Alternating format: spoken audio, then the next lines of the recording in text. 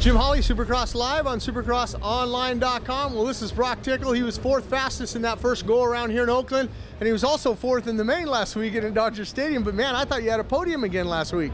Yeah, you know, I felt good last weekend, and I felt like I was actually riding better than I have the rest of the year. So just glad I can be here and be healthy and ready to race tonight.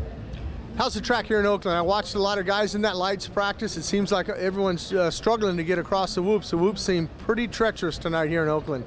Yeah, they're long and really big, so you just got to kind of commit to them and uh, kind of go for it. So I think it'll be good, good for racing tonight and kind of separate some people. And the dirt's really soft too, so it's going to be a good night here. What do you look forward to? I mean, is this the night you're going to, uh, you know, be on the top of the box there? I mean, you've had your opportunities. You've been up front running before, had some podiums. Uh, what do you think? Yeah, you know, I wanna I wanna win, and that's what that's what I want to do. So I'm gonna try everything I can and give it my all. And at the end of the night, if I'm up there, then I'll be happy. All right, you heard it from this guy. Hopefully, he's going to be happy tonight here in Oakland.